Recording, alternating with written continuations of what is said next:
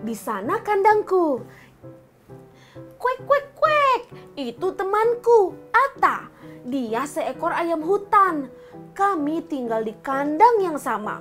Pasti Ata senang. Dia selalu ingin punya telur banyak. Namun biasanya paling banyak enam saja. Lihat telurku, lihat telurku, kata Ata. Kami sering mencari makanan bersama. Aduh, anak-anak itu selalu mengebut. Sahabat ceria, saat Ata dan Betty sedang keluar kandang, mereka dikejutkan dengan seorang anak yang sedang mengayuh sepeda dengan begitu cepatnya. Mereka menjadi kaget. Kuek, kuek, kuek, kuek, petak, petak, petak, telur kita, kata Betty dan Ata. Wah, ternyata bukan hanya mengakibatkan Betty dan Ata kaget, namun kandang mereka juga jadi tergoyang. Akibatnya, telur Ata dan Betty bercampur. Wah, yang mana telur Betty dan yang mana telur Ata ya sahabat ceria? Kuek, kuek, kuek, kuek, itu telurku Ata. Petok, petok, petok. Telur ini dekat sarangku, berarti ini telurku, kata Ata. Wah, bagaimana ini sahabat ceria? Sekarang telur mereka berhamburan. Sekarang kita jadi sulit membedakan antara telurnya Betty dan telurnya Ata. Hmm, bagaimana kalau keduanya tertukar ya sahabat ceria? Sahabat ceria, ketika ada seorang anak yang bersepeda tadi, telur Betty dan telur Ata jadi berjatuhan. Mereka sangat panik sekali.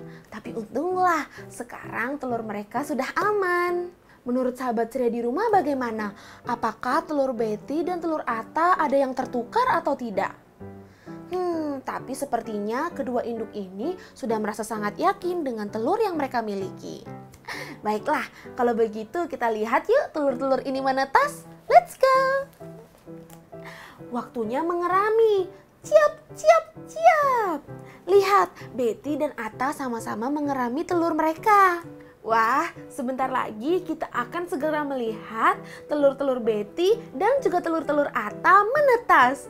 Pasti mereka sangat lucu-lucu sekali ya sahabat ceria. Wah, lihat, telur Ata sudah ada yang menetas sahabat ceria. Kuek, kuek, kuek. Ah, Ata, tentu saja telur itu belum menetas. Telur bebek perlu waktu yang lebih lama. Petok, petok, petok. Bukan, ini telurku, kata Ata. Hmm, kalau dilihat-lihat, tadi Alta kan memiliki enam telur. Sekarang keenam telurnya sudah menetas. Tetapi dua telur ini belum kunjung menetas. Hmm, apakah benar ini telurnya Ata? Kuek, kuek, ciap, kuek, ciap. Lucunya mereka. Kuek, kuek,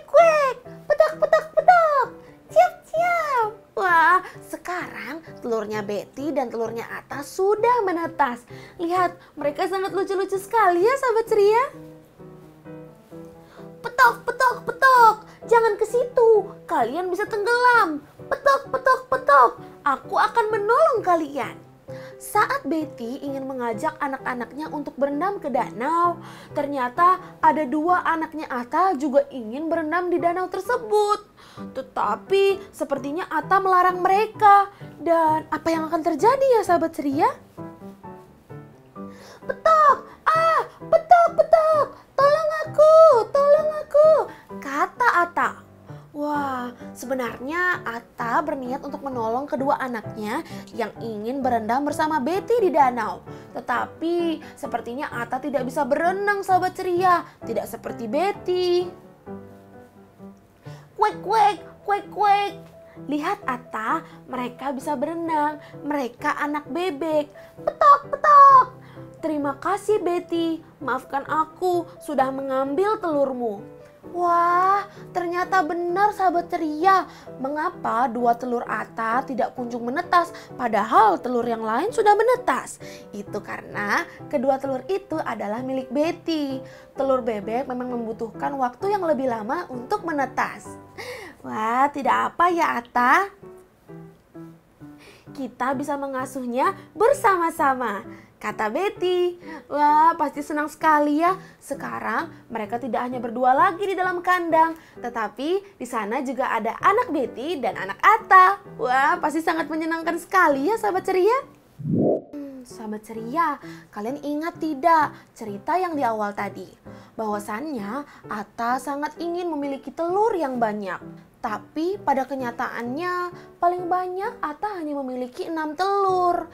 Itulah mengapa agar telurnya menjadi banyak, ia akhirnya mengambil dua telur milik Betty. Tapi akhirnya Ata menyadari perbuatannya. Bahwasannya anak ayam tetaplah anak ayam. Sementara anak bebek tetaplah anak bebek. Ata kembali menyesali perbuatannya dan meminta maaf kepada Betty. Sekarang mereka akan mengasuh anak-anak mereka bersama-sama.